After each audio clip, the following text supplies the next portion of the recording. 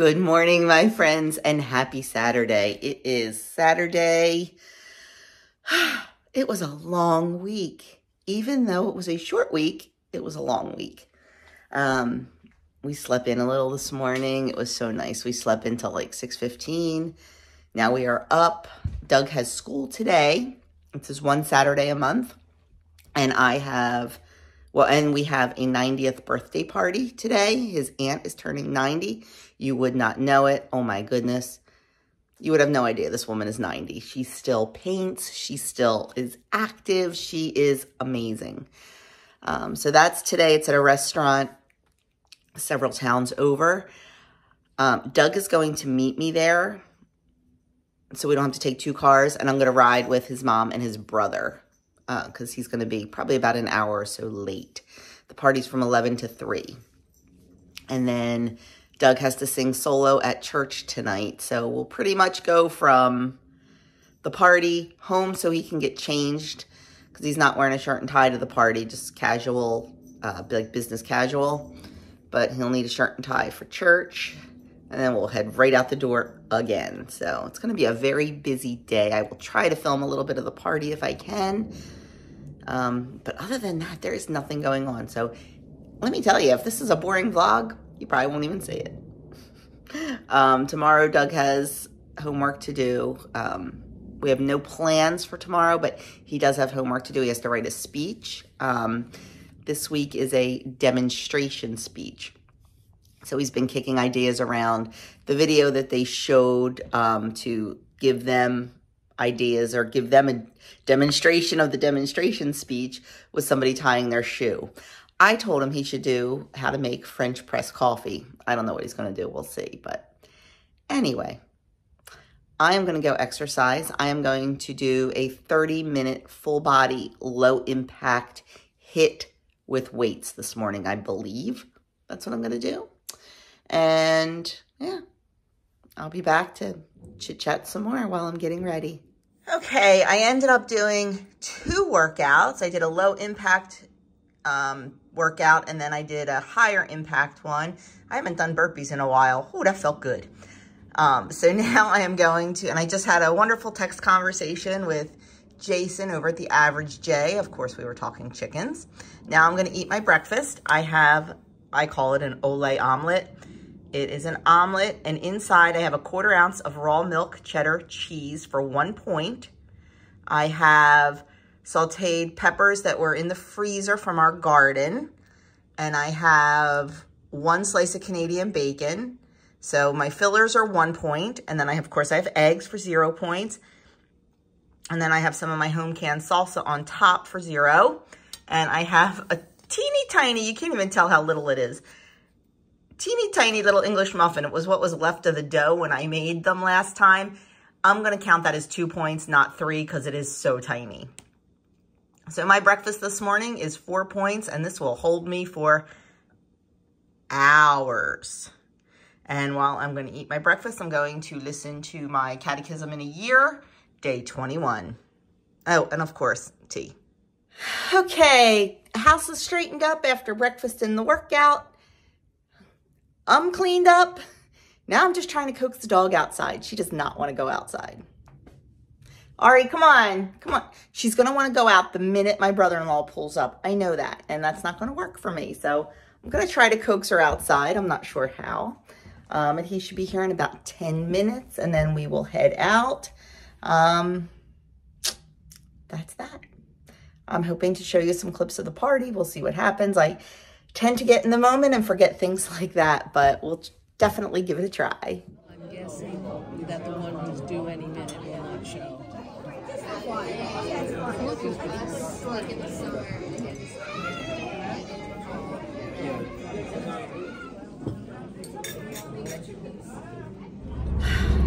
Okay, party is over. It was lovely. It was so nice seeing so many family members that we don't get to see very often. And even Doug's aunt and cousins drove in from Indiana, and we have not seen them. We probably haven't seen his aunt in probably five, seven years. So it was really, really nice seeing everyone and just talking and and I told you I probably wouldn't pick up the camera and I didn't.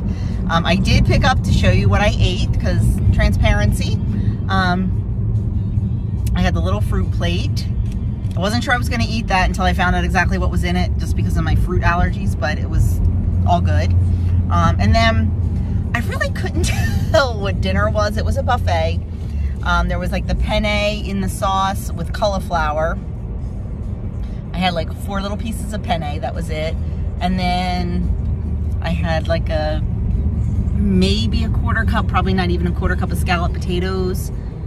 And then some kind of, uh, it was a um, flounder with spinach in the middle, flounder Florentine, and then I'm not sure if it was chicken or fish, or, or pork with like a broccoli rabe and roasted red peppers. I had a tiny little bit of that. So, and a big pile of green beans. So I think I did really, really well. Um, I did have dessert. I showed you. I found the smallest piece of cheesecake they had, and I had that. I had a couple cups of tea. So I'm very happy with how I did. I'm very happy with what I ate. Um, they had a whole table full of chocolate. I did not even touch that. So I, I kept myself busy.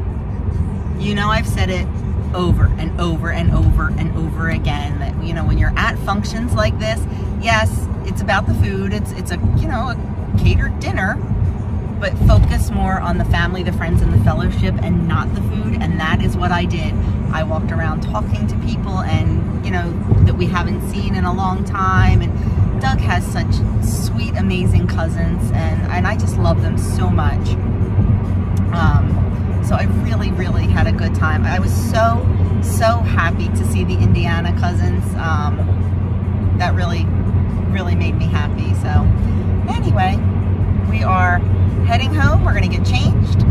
And Doug's going to drink, drink a gallon of water because he had cheesecake and has to sing now. Um, and then we're going to get to church. So I'm not making dinner tonight. We will just have some, either a picky plate or some popcorn or something because we just had our big meal. So if we're hungry, we'll just have a little snack later on. Um, haven't collected eggs yet today, so I have to do that. There's, hopefully the chickens didn't break them because sometimes if there gets too many in the nesting boxes and they walk in there, they'll step on them and break them, but hopefully not. So the car in front of us must be a huge Prince fan. His license plate is Purple Rain. So, anyway, I well, friends, we are home from church. We are in our pajamas. The chickens are put away. I had a nice long conversation with Jason over at the Average J about chickens. We had some planning to do for this spring with our um, Cornish rocks and stuff. And so, yeah, that was good. And then I attempted to cut the kitty cat's nails. She's a drama queen. I got the front done, but not the back. And oh my gosh, wah, wah, the whole time. Doug held her, I cut. So now we are going to make some popcorn. That's going to be our dinner. I know it's not the most nutritious dinner, but we had our big meal this afternoon and neither one of us are really hungry, but we're a little bit noshy. So we figure popcorn's a great thing to have. Um, because it's zero points and it's really not bad. What else? Uh, we're going to watch, we have a episode of Ghosts on the DVR we're going to watch, and then we'll probably sit and read or something. Um, Adam had his track meet today. He did run. We weren't sure he was going to run because he's got that bum knee, but he did run and he didn't PR, but he didn't do horrible. He was right where he should be, especially with an injury. So he's going to get that iced and elevated. Um, so, yeah, that's it. I know, boring weekend here at the Stetzers. Tomorrow's probably going to be just as boring. So, oh, this is a really, I do not have these big dark circles under my eyes. This is, there's some kind of weird shadow going on. So, I don't look this bad, really. Uh, anyway, that is it. I will catch you all tomorrow. I am going to be making a breakfast pizza. Oh, I'm glad I said that. I got to get my sourdough out because I'm just going to make a sourdough crust. So I'm going to go get that and call it a night. I will talk to y'all in the morning and show you our breakfast pizza. Good lazy Sunday morning, my friends. Yes, it is a lazy Sunday morning. We slept in a little bit And now we are making breakfast. I am making a breakfast pizza this morning. I am not making it with a traditional crust. I'm just using my sourdough. I got my sourdough out of the fridge last, or yeah, out of the fridge last night and fed it and whoo, it's big. It's over two years old, so it's very, very mature. I mean, it was in the fridge for probably over a week and it pops right back. So got to keep it happy and fed so it's always ready for me. So what I did is I took my big um, cast iron skillet, my 12 inch, put it in the oven and turned the oven on to 400 degrees. And I'm letting the skillet heat up with the oven. And then I will just take, I don't know yet, I'm going to start with three quarters of a cup of the sourdough starter. Put it in the cast iron while it's hot. It starts cooking right away. Make a crust, pop it back in the oven for eight minutes while I prepare the rest of the pizza pull it out, top the pizza, put it back in. But I'll show you everything just in case you're interested. You can also do it with a regular crust. You can make either a yeast it crust or a two ingredient dough crust um, and put it on a baking sheet or in a skillet or whatever and also cook it. So we will show you that when we're ready to work on it. Okay, my original recipe calls for eight eggs, but we have our new little babies laying and their eggs are smaller than a large egg. They range anywhere between a small and a small medium egg. So I'm going to use nine of them. Um, these are our little prairie blue bellers. You can't see on camera how blue it really is, but next to one of the green ones, you can kind of tell. So I am just going to use nine of the little guys. I'm going to beat them up in the bowl here. Doug is cutting up some Canadian bacon. You really, there's no really recipe for this. Basically, it comes down to how many points you want to spend on your breakfast. Um, now, eggs are zero points, but of course they have calories, but it's a good way to add in extra protein if you want to add a few more eggs. Eggs are a superfood in my world. Um, every, just packed with vitamins and complete nutrition. Um, and then, you know, you can, you don't have to use Canadian bacon. You can use regular bacon. You can use sausage. You can use scrapple. You can use whatever you want. And you can use as much as you want. Depending, like I said, on how many points you want to spend. And then when it comes to the cheese, same exact thing. Use whatever kind of cheese you want and however much you want of it. A lot of times I don't determine it until I start building the pizza. And I also look to see what kind of points I'm going to spend for the rest of the day. And how many calories I'm going to spend on this and on the rest of the day. So it's definitely, you can make it your own, you know, however you want to do it. So I'm going to beat those eggs up and we need to do the crust. Okay, I dumped some sourdough starter in. It is really hot, so I have to work really quick. As you can see, it's cooking already. I want to get it spread out. This is about three quarters of a cup. I think I'm going to add a little bit more just to make it go up on the sides a little bit. Let me see. Oh, maybe not.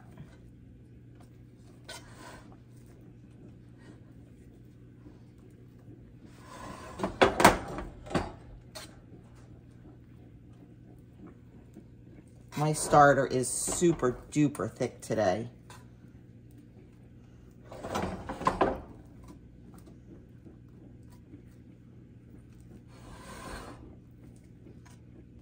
Kind of making a little bit of a deep dish here by building up the sides. But you can see it's pretty much cooking as I'm spreading it out. Okay, I'm just going to take a little bit more that I had left in my cup patch a few of the holes that I made. That's the nice thing about this. It's so forgiving. You can kind of just scooch it around, patch up those holes. Build up the side a little bit if you want. I'm not going for pretty here, so. Okay, good enough for me, good enough for breakfast. So now what I'm gonna do is I'm gonna put this back in the oven for about eight minutes and let it cook while I get the rest of my toppings ready. Okay, so my cameraman didn't have the camera set to video. He had it set to photo. So all the talking I just did and all the building I just did didn't happen. So what I did is I took it out of the oven. I put my scrambled eggs on there. Usually I try to make them a little soft set because they're going to cook more in the oven, but they weren't quite as soft set as I like. Some people dump raw eggs right on there and let them cook, but I haven't had much luck with that. So I've got my eggs on the bottom. Then I have three pieces of Canadian bacon that are chopped up. I have those spread on top of the eggs. And then I have my cheese. And I have today two ounces of mozzarella and two ounces of raw milk cheddar. Sprinkle that on the top. Now it's going to go back in the oven for about 10 to 12 minutes. I'm going to keep an eye on it. Um, I want the crust to be nice and golden brown and the cheese and everything to be all melty together. So sorry about that little camera faux pas. Not a big deal. It's, it's really not rocket science, my friends. So I'm going to pop this back in the oven and I'll show it to you when it's done. So while the breakfast pizza is in the oven, I am going to sit here and look at my new Taste of Home magazine that came, the Ultimate Comfort issue. I think, well, let me turn you around and I'll talk. I have been a Taste of Home subscriber since the premiere issue.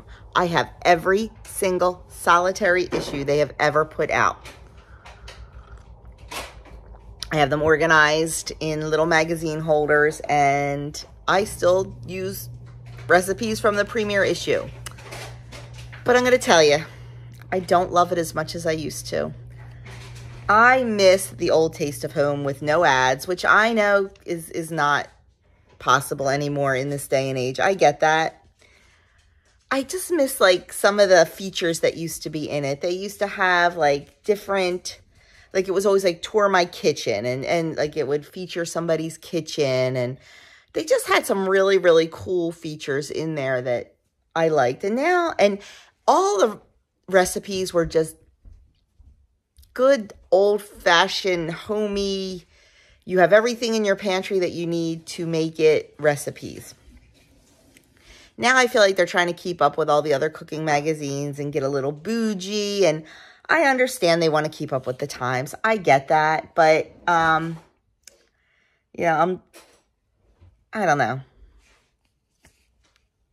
I just, I almost feel like they're trying to be a diet magazine. Like there's a whole bunch of, you know, keto and low carb recipes and I, I don't know. I just don't love it anymore. So I think I'm going to let my subscription go. I, I knew Doug, I was waiting. I kept looking over at Doug to see what his face would be. I, I think I'm going to let my subscription go when it's time to renew. I don't think, I'm not sure. I have to look and see when I'm due to renew. But what I may do is not have the magazine anymore and then get the um, annual issue for the recipes. But none of the fun stuff I used to like in the magazine is in the annual issues, like the kitchen and the kitchens and stuff. Like there's nothing so I think I just might do that. I don't know because I'm really running out of room to store them. And I don't think I've made anything in the last couple magazines just because, I don't know. I don't know. We'll see. It'll be a game time decision. Usually they offer it to me for like 10 bucks for the year and I take it. But we'll see. Game time decision for sure. But it's just not the taste of home that I used to love. So We'll see. But I am going to sit here and read this. I've got a little bit of time while the pizza cooks. And then we have to clean out the coop today. And Doug's got to work on some homework. And I found a new show on Netflix that I've been enjoying. Um, you know, all I watch is like cooking shows. It's, what's it called? Easy Bake Off? Easy Make Easy? I don't know. It's like a spinoff of the Easy Bake Oven, which is very weird. But, um, it's three contestants and they have to cook like quick and easy things. Like you can use, you don't have to cook everything from scratch. You can use some convenience foods, um, like some shortcuts. Like you don't have to make puff pastry. You can use the frozen puff pastry. Um, things like that. And I don't know, I, I found it kind of interesting. It was something to do the other night when Doug wasn't home and I was bored. So I've been watching that. I think I have like two more episodes to watch, so I might try to catch that today while Doug's working on some homework. I don't know. I don't know. I really should work on those tomatoes that I've been talking about for two months, but I need to get jar lids. So that's not happening today, but I don't, and I don't know if I really feel like doing that. Um, Jason and Michelle from The Average J are supposed to pop over this afternoon to meet our new kitty. So that'll be good. And that's about it. But I'll be back when the pizza comes out of the oven and I'll show you what it looks like. Okay, our pizza is all done and I'm just to tip it out onto a cookie sheet or a cookie sheet? Cutting board. And I'm just to let the cheese set for a minute or two and then cut it. This serves six. You can do six um, pieces. I mean, you can do whatever you want, whatever you have the points and calories for, but that's how I have it calculated. So there it is, my friends. Breakfast pizza. Okay, it is time to clean out the coop and the run. So we are letting the girls run all over the place. Hello, Miss Willow. And enjoy some free range time. Most of them go right into the garden and see what they can find in there. Any types of goodies or leftovers from the harvest. And we need to also do the run today because we have had so much rain that it's just muddy. So just, oh, we're doing a full coop clean out today, not a deep litter? Yes. Yes? Yeah. Any reason? Um, it needed it. It was really, Okay. I, I, I piled on. Oh, and there, there, of course, is a nosy Nelly. Looking to see what's going on in there. But, yep, so full, full coop clean out today. We'll refresh it with all new barn lime and sweet PDZ and pine shavings. The girls have been very, very busy already this morning. We've gotten a dozen eggs already and it's not even one o'clock. So they're earning their keep today. Hopefully this will make the eggs a little cleaner. Yeah, hopefully the eggs will be a little bit cleaner. They've been a little bit dirty because their feet have been dirty. But you can see like just the mud in the run. And, you know, like they love to dig big holes and, and dirt, take their little dirt baths, their dust baths. So we're going to rake all this and get it nice and freshened up. I think in the summer, we might have a big load of sand delivered to put down. Um, I'm not sure yet. We're still discussing options. But that's what we're doing on this afternoon. It's not too bad out here, actually. Not too bad at all. Okay, we planned on having an early dinner, but life gets in the way sometimes, and we're just sitting down to dinner. So I have what I call the sensational salad. It's just a whole bunch of mixed greens on the bottom. And I have total an ounce of cheese. I have half an ounce of mozzarella and half an ounce of cheddar on there. I also got really lazy today, forgot to take chicken out.